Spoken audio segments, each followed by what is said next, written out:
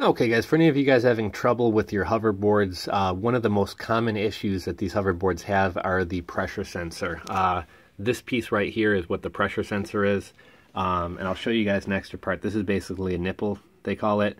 Um, so when somebody presses their foot on the rubber uh, below where my finger is, what happens is, see how that level, now it goes up, level, up. Basically it pushes this button causes that nipple to rise. And within here in the front and the back, there's basically two little wings like that, or two little sticks. And within there, there's an LED light, uh, similar to like a garage door uh, opener and how the sensor shines through. And when it breaks contact, the thing knows when to stop. Same kind of design here. Um, so when you press, it stops the sensor and it knows to go forward or backwards. Um, that's one of the most common things to go wrong with these is either the pressure sensor or the uh, probably more common LED uh, LED light within there. Um, this piece, if you can find a supplier, you can probably get for a couple dollars. Uh, most of the actual hoverboard websites and stuff in the U.S. are charging $100 for, for these pieces.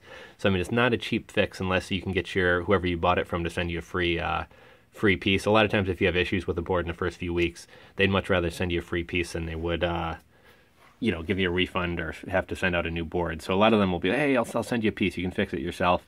It's really not that difficult to fix. Basically, these two plugs come out. There's four screws in the corner there. You'll unscrew those. You'll take this out. You'll put the new piece in. Uh, make sure the rubber nipples are lined up inside those sensors. Screw it back in, plug these in, and your board's fixed. So that's probably one of the most common uh, issues with a hoverboard.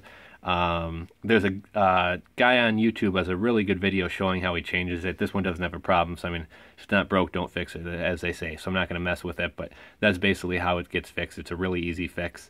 Um, hopefully this video helps you out. If so, give me a thumbs up. Uh, share this video with anyone who's having problems with their hoverboard.